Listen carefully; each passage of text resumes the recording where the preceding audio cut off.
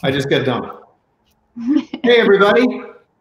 Welcome to the final session of the 2020 Sanibel Island Writers Conference or the Sanibel Online Writers Conference.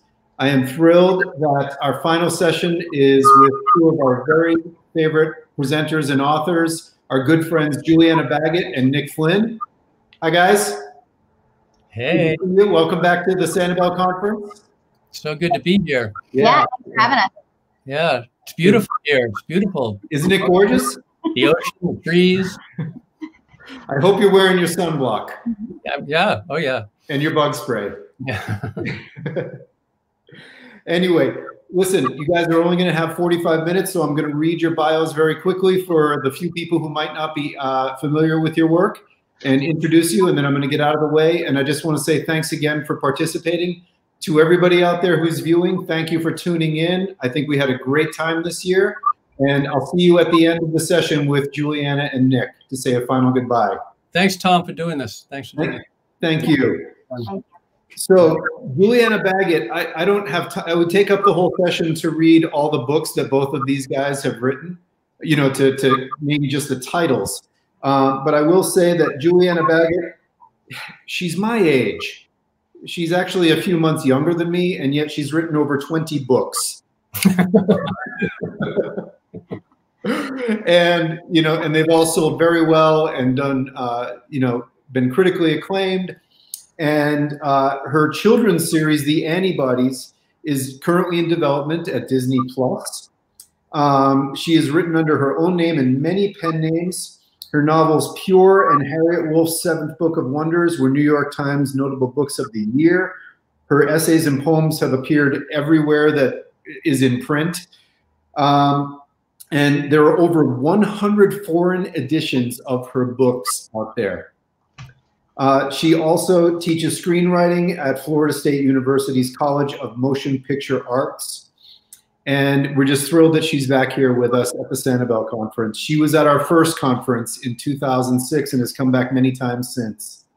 And Nick Flynn has worked as a ship's captain, an electrician, and a caseworker with homeless adults. He is the author of 12 books, including the New York Times bestselling memoir, Another Bullshit Night in Suck City, which was made into a film that you all might have seen called Being Flynn. His most recent books are I Will Destroy You, a collection of poems, and This is the Night Our House Will Catch Fire, a memoir. Nick and Julianna, welcome. Everybody, enjoy what they have to say. Take care. Thanks, Tom. I think we were supposed to decide like who was going to talk first. Yeah, I think you are. I think I have a feeling that you should talk first. I, I, want, I want, to hear what you have to say. I'm really thrilled to be here with you. And uh, yeah, yeah, to hear you. I'm really glad that they put us together and yeah. to talk about different genres about you know because you know one thing you have you know we talked briefly uh, before this and you have written in many genres and I've written in some, not as many as you. I don't think. Uh, well, maybe I can lure you, lure you into them. yeah, well, we'll talk about the, the, idea of genre too, and we'll, I, would like to talk about just even what genres are, and like because I um, I sort of broke down my last book, and I think I found like 10 different genres within the last book. So, but I, I might be getting the idea of genre wrong. So, why, why don't you start?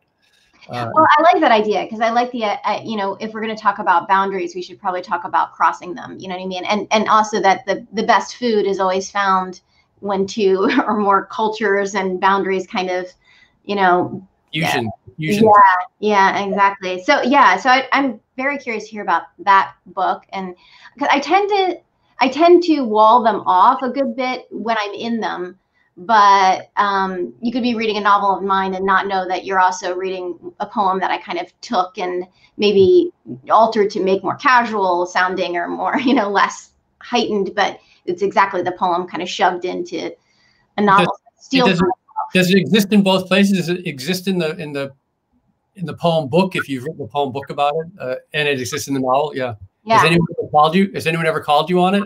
Yeah, just one person, and I was so excited because they read the book of poems. That's the other thing is that when you're in multi genres, I don't know if you felt this way that like one will get jealous of the others. Have your like because your memoirs have you know sold more than I'm assuming, you know, have had more readership. Does your poet ever kind of pissy about it? Like, wait a minute, why am I not getting as many readers? Not, you know, not always. Actually, there have been books of poetry that have sold more than some of my memoirs I've written. So, mm-hmm. uh, and I'm not sure what that says. I once once I did a reading at a, a place for poetry reading at a place, and a woman came up to me afterwards after I read the I read to them, and I and she came up and to have me sign a book or to buy a book to sign, and then when she looked at me, she goes, "Wait, you're not Vince Flynn," and she she'd gone through the entire poetry reading assuming I was Vince Flynn. It was very impressed by the, uh, and then she got really, then she just turned and walked away. She was, she thought I had tricked her or something. Yeah, I got I got mistaken for Haven Kimmel once in a in a bookstore. And yeah. oh, thank you, thank you so much. Yeah, um, but then I, you know, I had to, yeah, I had to tell them the truth that I am not a girl called Zippy. Although weirdly, one of my nicknames in high school was Zippy because my last Baggott and I was fast runner, so Ziploc bags. It happened. That happened. Um, but I mean, I think that for, for me, you know, I really like writing across genres because it takes me out of authority. You know what I mean? And I and I really only kind of think of myself as a fiction writer. You know, kind of that's my main um, core identity. And then, um, so when I'm moving into those other areas, for me, it's a way to be playful and not an not an author in authority over the work. And um, my work is generally not good when I'm being an an authority within it. You know, I'm kind of stomping around as an author. So for me, every time I move out of my primary genre, which is again like kind of arbitrary anyway, but um, I feel like I can be playful and and be a novice and no one's watching, which no one's ever watching anyway. You know what I mean? But there's this idea of the critic, and when I'm in genres that I don't think of as my primary, I don't think of the critic as much. I really feel like I can be more playful, and so then you know the lessons that i've learned in moving in other genres and writing in other genres and then sometimes the same work moving through different genres i think it's always made me better in my primary genre or just maybe not better but they're certainly transferable lessons i would say but, but even within your primary genre fiction just to break down because I, I actually had to go to wikipedia to look up what genre was because i wasn't totally sure and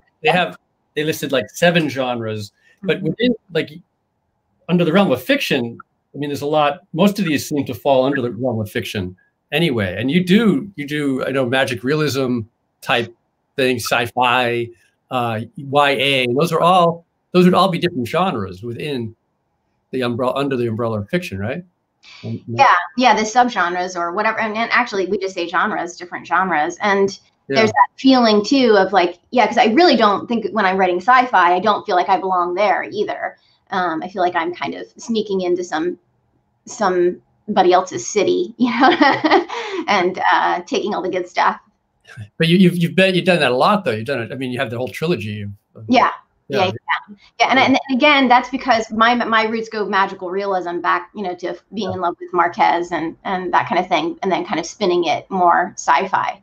But but when you say fiction, does that mean that you're more into like just sort of realist fiction, like uh, like yeah, yeah, I, I think that when I first started out, I well, first I wanted to be a playwright because my sister was in New York and she was on, you know, she she was on on stage. She's a director, she's an actor, and I I saw the chain smoker in the back and who was in charge of the words, and I was like really drawn to for all the wrong reasons, probably, but I was really drawn to um, that you know person. And then um, but then when I first started writing, I, it was really magical realism that I loved. And then the publishing industry kind of, at that point at least, was just, um, you know, didn't want any of that kind of stuff very much. I mean, it, in general, I mean, they wanted Marquez, but, and again, you know, they didn't want my uh, version of that. So I really had kind of realism beaten into me. And then when I was allowed to finally kind of do something else, um, all my love for all of that kind of came rushing back. Um, and so, I mean, it, you know, sci-fi again has such its own very clear, you know, literary tradition, and I, I kind of come, I kind of fit, and I kind of don't. But again, I like that not fitting. That again, I'd rather not fit. That's a much more not fitting is more comfortable for me than fitting, and I'm wondering if that is. I don't know. I, here's my question for you. I think is that sometimes when I see a poet and I think that of poetry and fiction, and that nonfiction is the bridge between. So when I see a poet and they're right start to write nonfiction, I feel like they're on the bridge, and prose there, and then they're going to start writing fiction. And then when I see a fiction writer starting to write essays and getting kind of closer to the bone of their own experience in nonfiction, I feel like eventually they're going to want to be more and more and more essential, and they might land in poetry. So I'm curious how what you think of that theory, if you've ever land, you know, wanted to land in fiction, and if I'm just that doesn't work for you at all. Um, I'm not sure. I'm not sure if I'm going to drift completely or, or or move over to fiction. I'm not sure. I might, uh, but um, uh, because I, I feel like it, this, I'm still sort of fascinated with uh, um, what nonfiction does and what uh, memoir does. That that it uh, it has a it has this lyric element this which is the poetry feeds the lyric element and then there's, but there's something that's sort of actual measurable in the world you know something that happened something you can describe something you can sort of try to understand and sort of your perception bounces up against that and if i was completely in a fictive world i'm not sure if i have the muscles for that like the to to create an entirely fictive world i'm not sure if i have that impulse or understand it even like um I think I'm sort of barely in this world, and so to create like another world to me would be uh, maybe terrifying. I mean, I think it'd be I'd, I'd be afraid I'd just be I'd never come back from that experience. So. Do you have the inclination to lie though? Because as a fiction writer i'm a liar you know what i mean? Like it, you know a novel by or you know big fat lies by you know? Um well i do my i do my best. I, I, you know it, not being honest is like a daily practice, you know, yeah. something that I have to sort of like keep steering myself back toward. Uh, you know, because there have been periods of my life where I've drifted away from that. And so maybe to have a job where my job was to lie would be, uh, you know, maybe not the best job for me. So uh, it seems like a lot of people's jobs though are to lie. seems like 90% yeah. People I know. when we get into like like when you broke down, we sort of broke down fiction into these other, you know, you can get into magic realism, you get into, you know, there's there's the Carver. I, I assume you were talking about sort of a Carver thing. I came up with Carver, which was not what I could do. I couldn't really do what Carver did, which I loved. I loved his work, this sort of distilled fiction.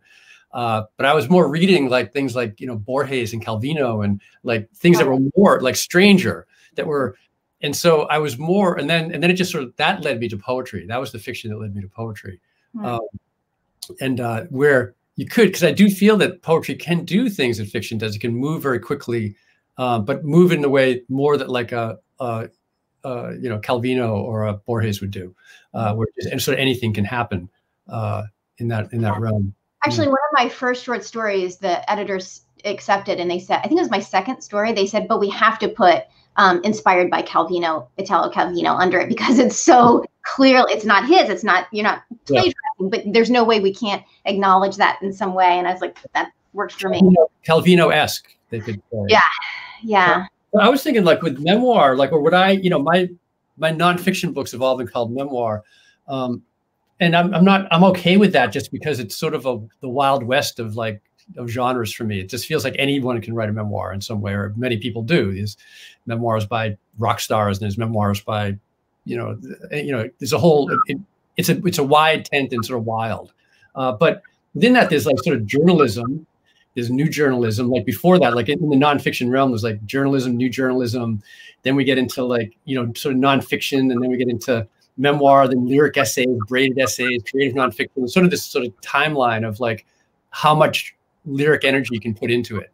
You know, where the journalism is more or less, and then as you sort of go further, then it gets just on that other end, it gets into the poetry world. It sort of starts to become poetry. I think. Yeah. Well, the, the, thing is, I mean, as a screenwriter, I, I teach screenwriting, so I teach screenwriters mm-hmm. weirdly, and oh. to me, the closest thing to the screenplay is the poem. Yeah, you, you call it a plot poem. I saw it in an interview. You call it a plot poem. Yeah, yeah, I do.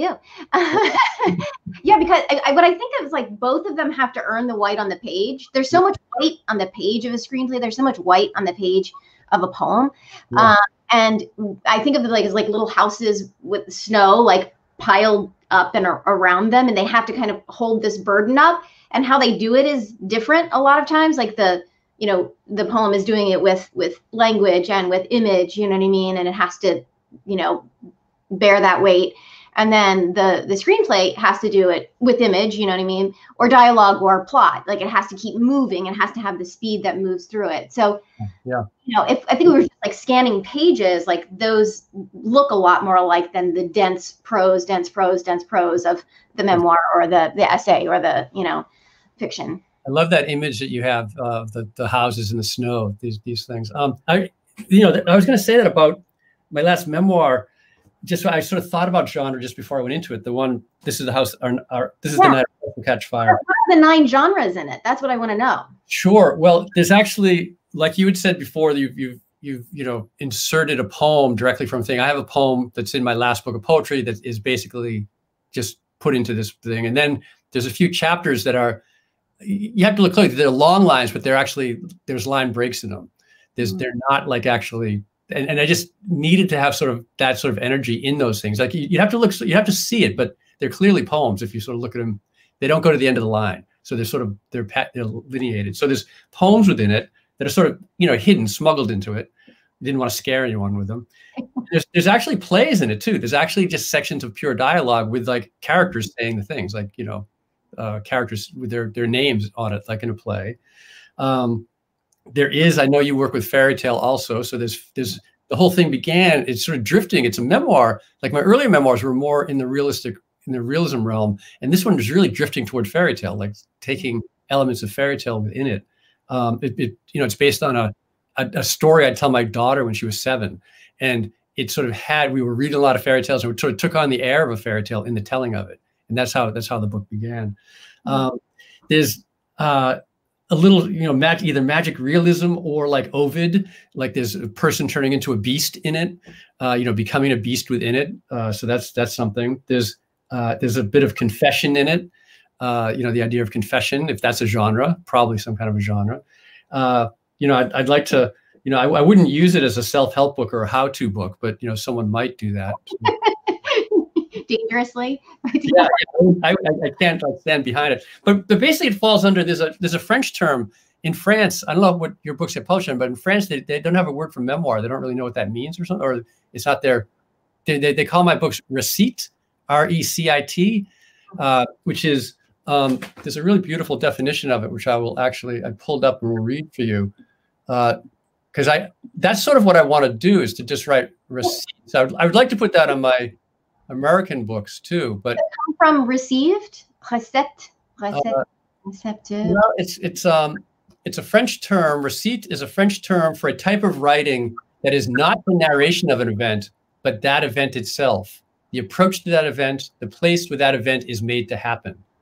So it's the idea that it's like uh, when you talk about poetry and you say that a poem isn't about anything, but it's an experience. It's the experience of reading the poem. Mm. Uh, and that is so it's it's the event itself the, the reading of it. The recitation. They're talking about kind of like the recitation, the but that that the experience of it. Yeah. It must come from that in some way. Yeah, I, I, I should look up the etymology of it. Yeah, and see where the seed comes from. Yeah. Oh, look, somebody looked it up for us. Somebody yeah, down below. That's so good. Oh, I like good. Yeah. Yeah. I always love. I love when that protest in French is manifestation. Like yeah. manifestation of you know what can't be seen. You know what I mean? Like this this wouldn't exist if that other shit weren't going on. You know, as mm-hmm. opposed to yeah. Yeah, the manifestation. Yeah. And a, and, a, and a store is a magazine. I like that too. um, um, so yeah. you're, you know, we could talk more about the, um, uh, uh, the screenplay stuff, like how that's different. Um, uh, I'm, I'm interested in that because you're doing a screenplay now. You're working on one now. Or? Um, yeah, oh, actually, I am, but that's it's uh, just it's based on a short story of mine, not anything that's um, you know optioned or in development. Um, but um, yeah, I mean, I, I think honestly, I, I taught the novel seminar for a while, a couple times in my life, and I've taught groups of people writing novels, and I always feel like I'd much rather them take a screenwriting class and then do the novel. It's kind of like a, you know, um, if you know how to write a screenplay, you know how to um, do the the pencil marks on the on the canvas before you add the watercolor. I, I love it when you always see like the original in a painting behind. The, you still see those marks to see it. Is it is this to scale? You know. Whereas not at least when I first started writing novels, I would just start oil painting layers in one corner of the canvas and be like, God damn, I hope this is to scale, you know? and so uh, screenwriting helps. You can see the screenplay, like a screenplay as like the, as like, that's so interesting. It's like the, the, the ghost of the whole book. And then, and then the, the book could be filled in uh, from that. That's so interesting.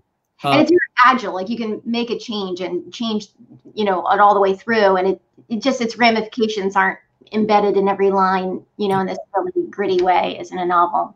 I, I, have, I have my students do a, an exercise um, where, and, and, I often use uh, uh, Caryl Churchill's uh, play Love and Information. Uh, it's just a play where it's just like, you know, there's little short sections of people talking about a subject. It'll say like, you know, uh, shame or something, and then it'll just be they won't even have characters' names. It's just each line is a different person talking, and we just sort of re- we perform those and then uh, you know they they have to sort of do it, make do a performance in like five minutes. They have to sort of get it and decide the characters, and then sort of do them. And then we write from that, like we sort of take one of their things and write and just a pure dialogue, like two people talking uh, about mm-hmm. something. And it, it, really is like this such another way of like entering into the work where yeah. you don't have all the props. You know, they're not, you know, they could pick something up and talk about it, but it would be, it would be kind of weird. Like, here's my cup. I'm going to talk about this. I'm going to describe the cup now. And usually it doesn't do that. It's really just people having a you know conversation between each other you know well that's why i love theater and improv because it's yeah. It's the truth of writing you know what i mean like i always have this idea that i'm writing but i'm really just improvising you know yeah. i really don't know what i'm doing in this in a moment to moment way well yeah we hope not yeah i mean that's the, the thing we, we, want to sort of have that sort of that energy that wild energy of um, mm-hmm.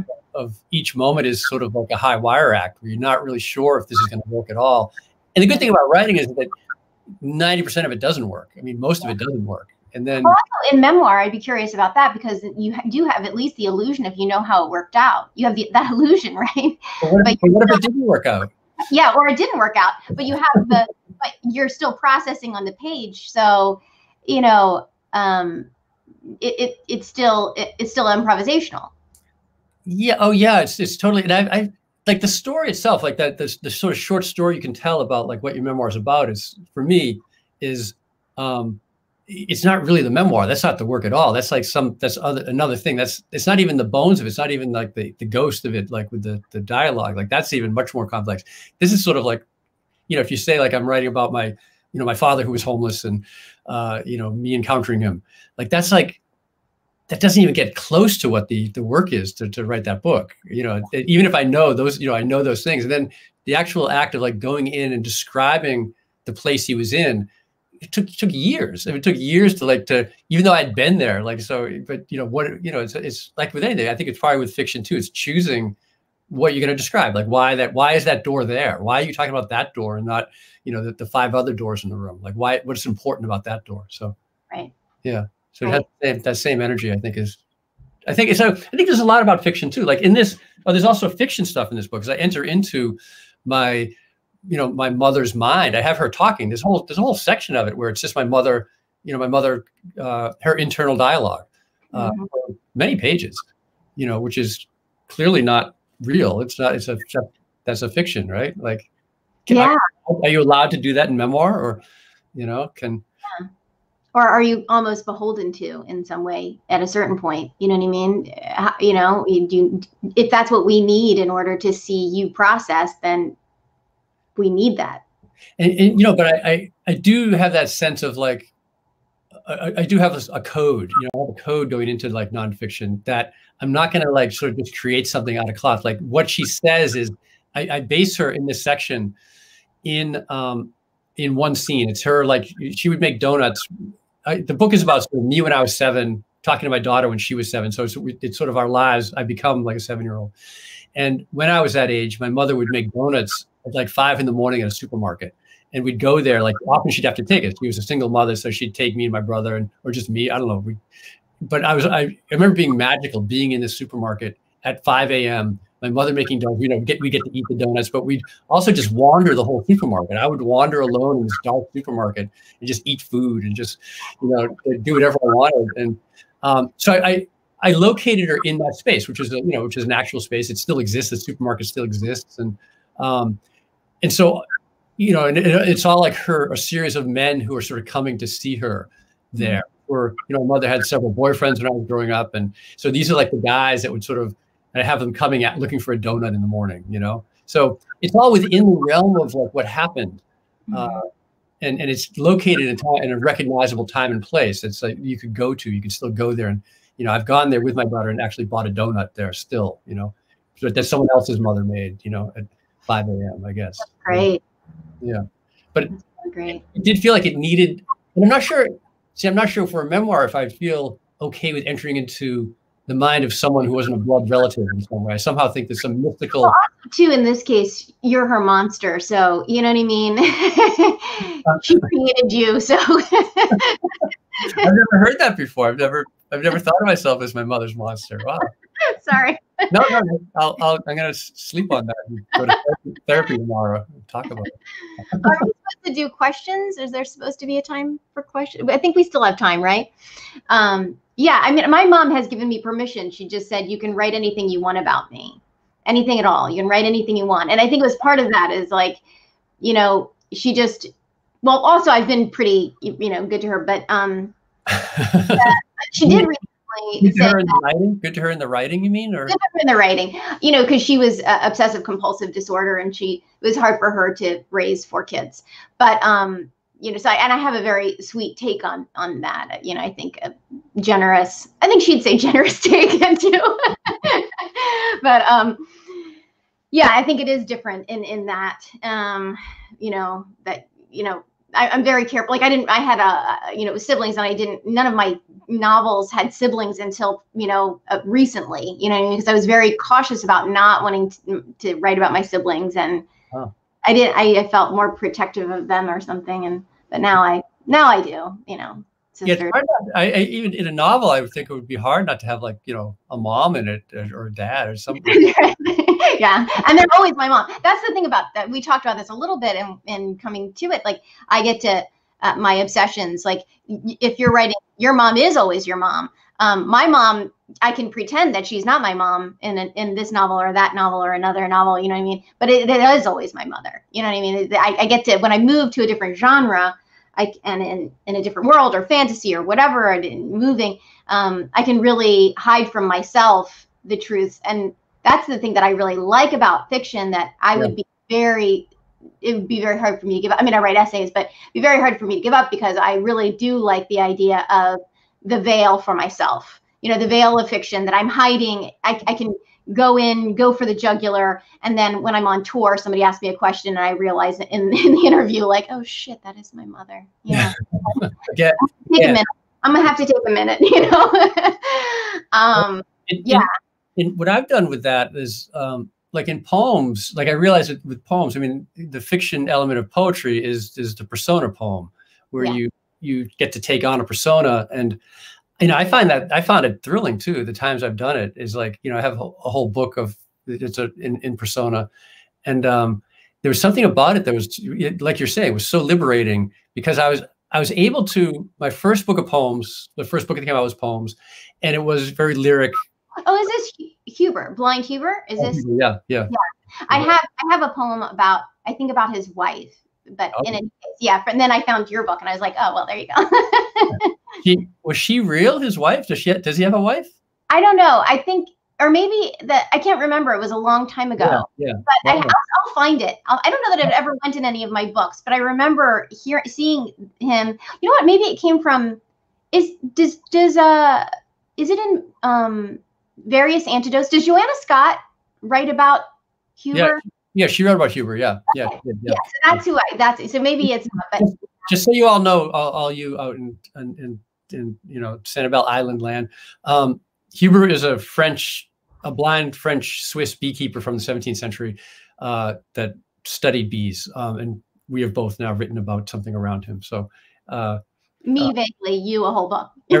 I, I, I, had a six year six year affair with you know, Huber, um, mm. and uh, uh, yeah, there's but there's something about persona that allowed me to um, like the first book was lyric memoir uh, i mean lyric uh, confessional or neo confessional poetry and there is something constraining about that because you don't want to you, you can show yourself in a bad light, but like there's certain there's certain realms of like emotional experience that seem sort of off. Like it was hard to be sort of like gleeful when you're writing about like your mother's suicide or something. You know, to have like sort of like you know to have these complicated emotions that are not like sort of what what is sort of within the realm of hmm. uh, uh, recognizable human experience. But if you're writing from the point of view of a bee, then you're able to be like strangely small-hearted when the queen gets killed, uh, and and you know have have certain amount of uh, uh, you know pleasure in in destruction, and uh, there's all sorts of things that could get released, and it was really it was really liberating to to do persona,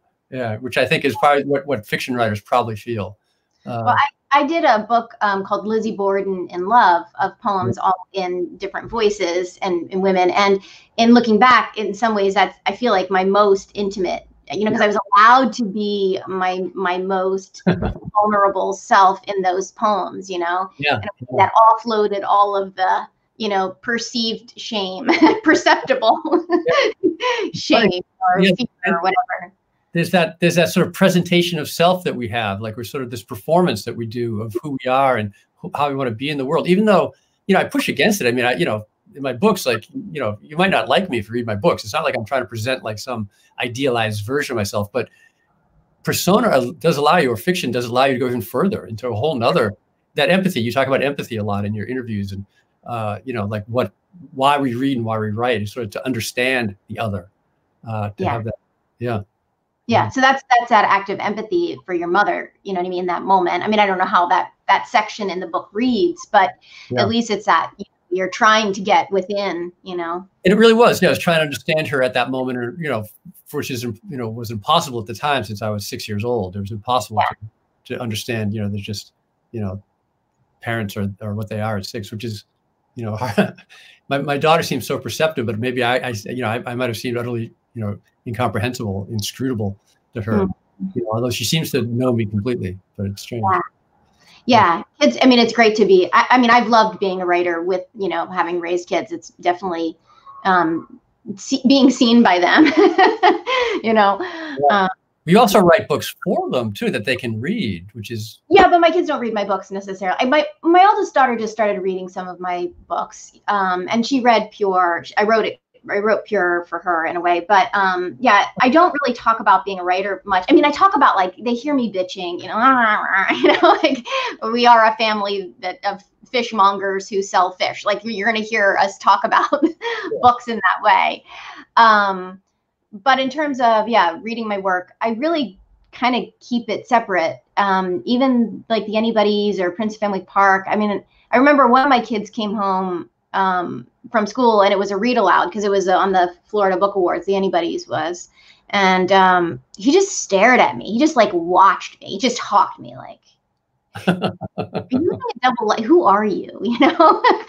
um, yeah, that's magical experience to suddenly have your his mom's voice like in the room with everyone like reading it out loud in the room. It's amazing. Yeah, yeah. The question we just lost it. Like I think about um, is there a specific genre that you find more challenging to write about? And if so, why? You mm-hmm. want to take that one? Well, that, my, my answer to that is that that's the reason why I'm cross genre. I write across genres because when I get really frustrated and limited in one genre, I move to another genre. So um, I was not a poet. I did. I, I felt uncom- very uncomfortable writing poems, um, which when they were, you know, suggested for class assignments or in a poetry workshop or something in undergrad. Um, but then, and I, but I married a poet, and so when I started, when I had my second child, I had very little time. my time just shrunk considerably. And I suddenly had like a lot to say. I was really kind of like, wow, I'm very betrayed by motherhood. no one, no one has has explained this what this is going to do. Um, and so I keep telling Dave, you should write a poem about blah blah blah and the betrayal of motherhood, and you should write it this way. And you should. And he's he just I, he's like, I really, it's not my territory, you know. and so um, because my time shrunk and my kind of like uh, need to express, especially like thought, like epiphany, like feeling and image and what I've been fed and processing it in a different way. And it, I, so I, it, poetry really worked because I could do a smaller space and a bit more like electrified and then just walk away. You know what I mean? I didn't have to do rising action, opening and closing doors. They're eating now and they're fighting. And now we denouement. Like I didn't have time for that. And I also didn't have patience. I wasn't interested. in that that wasn't going to help me get through what I needed to get through. So um, so that's it's not that one it's that that it's not that I like one or one's easier than the other. It's that at different times in my life I need one more than the other, and so that's why moving through them has been so helpful to me, just as a human being. That's really nice. Yeah, that you need them at different times. Um, I sort of, you know, I started out as a poet. Um, you know, after I tried fiction when I was younger, and then I, I, I, moved into poetry, and that sort of seemed to match more the way I thought, uh, the way the world seemed to me, sort of lined up more with it. Um, and you know, the memoir sort of came. You know, I wasn't sure what it was going to be like. I don't know what the books are going to be before I write them. Usually, I don't have a sense like. Um, uh, at least that was true in the beginning. Like I didn't know if, what it would turn into. It would turn into a poem or uh, turn into a, a, book. You know, I hadn't written a, a, a prose. Um, but you know, now now that I've done it, I've done a play also, and I mean, I, I, would say like challenging. Like the, the play was was challenging in a way, but in a thrilling way, just because you know I, I got to work with like actors and actually have actors like moving them and to see actors moving things. And I wrote about some of the same things that I've written about in my poems. Like there's a image of my father uh, putting like a pulling a trash bag up on on his body, and it's in a. I have it in a poem. I have it in my memoir. And I have it in the play, and it's just to see it in these different forms appear, and to actually then to not to in the play, not to have to say anything about it, just to have someone do it, mm. and like you know have no comment on it. And while he's he's saying something, you know, he's just sort of like you know talking about something else, actually not drawing any attention to the fact that he's putting himself in a trash bag. Mm-hmm. Uh, and just to have it exist on those different levels is, is really thrilling, uh, which is a, a, thrilling thing about genre too, like, uh, or just writing in different, um, uh, these different registers, uh, because each one has its, their own requirements. Each one has its own, their own requirements. And so in a play, you you don't have to talk about what the people are doing because they, they can see the audience can see what they're doing which is really like like it, it, when I when I realized that, when I'm like, oh, they'll just do it. Like they, you don't have to have them. Like the people are actually doing it in front of you. You can see it. I don't have to describe it. I don't have to say like, hey, why are you putting yourself in a trash bag? Mm-hmm. Like that would be dumb in a play. Whereas in prose, you need to say that. You need to actually have have that described. So, uh, mm-hmm. yeah. Yeah, I, I actually would like to write a play. That would that's the one thing because that's what, where I started out. So I'm jealous there. Sorry. Um, do you begin with a story and then find the genre to best share it, or do you start with the genre and then um, write the story? Um, some are so part and parcel, you know what I mean, that they come together, can kind of conjoined. Um, but th- there are definitely times when, like Pure, for example, was me just in a short story trying to do my best George Saunders um, inspired piece, you know what I mean? And it was about a 23 year old who um, has a doll for a head instead of a fist. She has a doll head instead of a fist, and she wears a, a gold toe sock over it. And it's about the guy who's coming up to coming to break up with her, but he can't because her mother's coming to town, and her mother's really hard on her about having the doll head. It, the story, no one wanted to publish this story. no one. Everybody was like, "What are you do? What is this?" And um, and then I thought, yeah, there actually is something here, but it's so much more interesting if it's somebody who's just moved out of childhood and they want to get rid of their childhood and they're kind of ashamed of it. And yet here they, this doll is with them. And so, you know, somebody who's like 15, 16, that's much more interesting than how did it get fused? Now I'm in sci-fi and you know what I mean? So there are times when you try it one way and it doesn't work and then you try it a different way. Yeah, that's great. Just just metaphorically, it's so it's yeah, it's an amazing thing in that with that image of the, you know, the girl with the uh uh the doll head for a hand. It's just like, you know, like trying to like you know, move from childhood, but like you're stuck, you're stuck with it, you know. Um uh yeah, I you know, since I mean, since mine are like uh Julianna and I talked earlier, I think it was earlier or maybe it was during live, maybe I forget now, I can't keep track of time, but about how yeah, we did. We talked about it live, like how a memoir, the story's already there. But mm-hmm. I see, I, don't, I just, for me, that's not really true. It's usually just a glimmer of something. I, will just sort of be writing. You know, I do like daily writing anyway of, of some sort. I, you know, I, I engage with writing in some way pretty much every day. Um, and then after a while, I mean, the books take like, you know, five years or something to do. And after a while, just sort of energy will start to sort of gather around certain images that I've been writing that I'll, they'll, they'll sort of keep returning and sort of I'll sort of deepen them and uh, I'll be surprised by it. I'll be like, oh, this is you know, and and the last book, the this is the house our this is the night our house will catch fire really just began as stories I would tell my daughter when she she was really interested to know what my life was like when I was seven. When she was seven, she wanted to know what I did when I was seven, and I was like, oh, I, I don't really remember. So, uh, but I remembered one thing. I remember like one really vivid image, and I would tell her that, and it sort of grew from that. I sort of tried to, and we did we did it in different genres. I guess it's like I had her make a picture book of the story I told her. You know, we made like a song of the story I told her. We, you know, told the story again. We went to visit the place. We did all these sort of things, which would count as like research or, you know, trying a different. We storyboarded it out, uh, and there's basically just a sort of like, like, you know, I would sort of like, you know, tell the story, and then she would draw a picture of it, and, uh, um, and then, but it, it just grew from that. And then I realized that there was other stuff around like why was i telling a story which is also the thing for memoir i think you always sort of I, I always, I don't know what you need to do, but I always encourage my students also to ask themselves why they're telling that story, like what it is about that story and not the other stories you could tell around that time. It might be that you only remember that story, but there are other things I remembered around it, but they just didn't have the same energy. They didn't have the same sort of like, you know, energy enough to sort of sustain one through a book. So, mm-hmm. yeah. Time for one more question. Good Lord. Oh, my Lord. get published in mixed genres? I think it is. Hmm. I think it is, but I think it's changing. Um, so is it harder to get published if you mix genres? Um, I mean, we've had such interesting books come out, some really critically acclaimed books that um, are doing things with text and image and um, parts. You know what I mean? I was just looking at Dorothy, um, the the publisher Dorothy, that does a lot with, um, you know, kind of smaller, sometimes smaller books that are, you know, mixing things. Um, so, it, you know, but, but again, like if you're, if you're going, the, the more you're pushing toward um, mixing the genres and doing something that we were talking about where the borders meet, you know, the really interesting work happens when people are transferring themselves and moving between borders. So the more you're doing that, if you're doing that for an audience, for, you know, publishers are really hungry for that, and want more of that, I think that then you're in a good spot. If you want to go to a traditional publishing house, I think it's going to be harder to convince them that I'll get all the audiences, you know what I mean? Not just one, you know?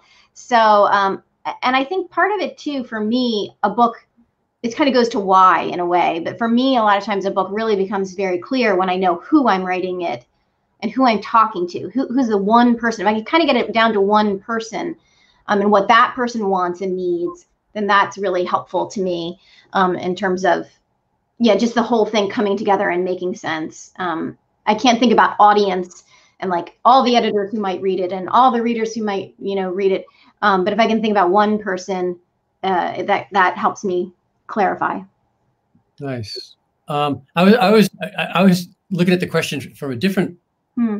I'm not sure. The question was a little. Um, you could read it two ways, like an Escher drawing or something. Like I didn't know if it was you were you were taking it as if the different mixing the genres within one book, within one project, I uh-huh. think. And I thought maybe it was like if you write in different genres, mm-hmm. uh, if you have a whole, if each book is a different genre.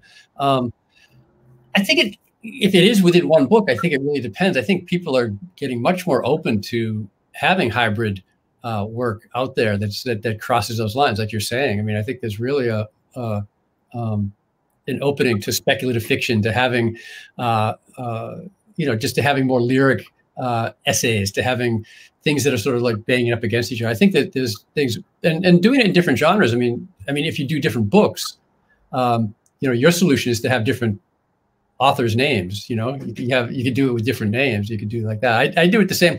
I don't notice. I have, I have a different publisher for my poetry, a different publisher for my um, my prose right now, and um, you know, I don't know if it's uh, yeah, I'm not sure. Like it, it just seemed like, you know, it, it, that just works for me. Like I, I, don't know, and I think I think they're both open to it. It's not like you don't you don't usually have even the same readers. You often don't do not have the same readers. Like you, one person read your, you know, knew that your poem you'd stuck a poem into you know from a book of poetry into your prose, and I I think it'd be about the same for me too. You know, that'd be a, that's an excellent reader that can notice that. You know, they were so mad at me, so yeah. mad. I lost them. Um, no, they were mad They were so mad. you um, paid him back. You'd have paid him back the like whatever that would be worth. yeah, I, I think that um, I mean I am jealous sometimes of of writers who, when I pick up a book, I know exactly what I'm going to get. You know what I mean? And I think sometimes with with writers like me, it's like I don't, you pick up one of my books, you don't know what you're going to get. You know, it's kind of all over the place. So I think there is something to be said for like giving people like you know having having a voice that's very clear and distinctive. And sometimes I wish I could do that, but I can't because I, I get bored of myself and I can't stand being myself. And so I try to try to at least do something different, you know, in order. And so there's also something to be said for, you know, agility and moving between genres to kind of also um, keep publishing across the board. I don't know. I think I think we've come to the end. I think Tom and Jason are going to come back in and say hi now. I think. Hey, Tom. Hey guys, great job. Thank you. Yeah, thank you guys. Thanks, Nick. No. Fantastic. Hey, Jason. Hey, well, we made it to the end. We made it. To, how you feeling anyway? I'm good. I'm good. I put the heating pad on my back like you suggested. very helpful. Very helpful. It's a lifesaver. It's a back saver. It helped me focus because there was a lot to take in. Yeah, yeah, absolutely. Well, I don't know about you, but I'm feeling pretty great about this little experiment that we did this year. Yeah, I loved it. Every minute of it was great. Absolutely, absolutely. And for those of you who are still watching us, thank you so much for hanging out. I hope you had your own heating pads for uh, sitting around for so long each day. Um, and we're just thrilled that you you were able to tune in and that we were able to bring you this programming. And we can't wait to see you next year in person at Big Arts on Sanibel Island for the 2021 uh, Sanibel Island Writers Conference. Jason, you want to say anything else about uh, the? The, the 2021 conference, you say? Is that was that my cue? um, yeah, we're gonna be back on the island. That's the plan. Um, we do have registration discount right now. If you sign up between now and Halloween, um, you can save 100 bucks on your registration fee for the conference. So it's only $450 instead of 550, which is regular price, which is what you'll pay if you don't grab it this week. Um, we also have um, four Sanibel Island hotels the Sanibel Inn, the Sunshine Island Inn, Kona Kai, and the Sundial that are also offering discounts for Sanibel members. So if you or uh, attendees, so if you can go to our uh, website, you've seen all the links. If you go to the Facebook page for A Mighty Blaze or for the Sanibel Island Writers Conference, you can find those links there, or to our webpage, fgcu.edu slash SIWC. Um, you will see that all roads point you to that registration page and all the discount uh, information is on there and you can take advantage of it. We're hoping to see you guys on the island next year and really looking forward to it. As much um, fun as this has been and a different little change of pace, um, I'm ready to sit by that pool behind the hotel and swat at no-see-ums and uh, yeah, I'm ready for that. I am so ready for that, especially now as I look out my window here and see the snow piling up. Oh yeah. Yeah. I bet. Um, well, listen. Before we say goodbye, we want to say thank you because uh, putting together a program like this requires a lot of hands to do the lifting. And um, first, I want to thank again all of you who who tuned in and who sent comments and questions during all of the all of the sessions. Those those were really great. Uh, we love the feedback. We love the questions, and we think that we made it a much more dynamic conversation between all of the presenters because they were responding to your immediate needs. Uh, so thanks for that. We really appreciate uh, you collaborating with us on this. Um, especially, I want to give a special uh, shout out to my class, the writing theory and practice students. I know you guys were all here because I saw all your comments and your and your questions. So uh, I hope you enjoyed this as as much as I did, and I hope I didn't oversell it. I hope I undersold it, and that you really felt like it was worthwhile and a lot of fun. Um, I want to thank all these people at Florida Gulf Coast University who helped make this happen and make make it possible. Uh, Dr. Fiona Tolhurst, Dr. Chuck Lindsay, President Martin, Norm Walker, Lori Cornelius, uh, Kyle McCurry. I want to thank Nancy Stetson and Jeff Cull at Florida Weekly. I want to thank Nancy McPhee and her entire staff at the Lee County Visitors Bureau. I want to thank my, my good buddy Kevin Toller, who helped design all of the ads. I want to thank everybody at A Mighty Blaze who helped produce this and make it possible for us to be online this year.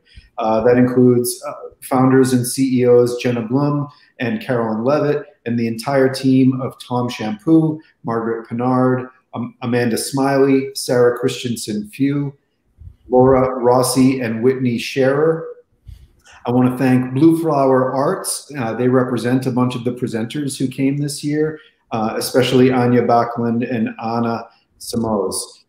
Um, and of course, I want to thank all of the great presenters who who presented this year, uh, who are many of whom are going to be there next year. So if you enjoyed them this year, you're going to see a bunch of them next year, including we got Erin and Steve Almond, Andrea Askowitz, Julianna Baggott, Lynne Barrett, uh, Jenna Blum again, who not only was uh, behind A Mighty Blaze, but also a presenter and a moderator a bunch of times.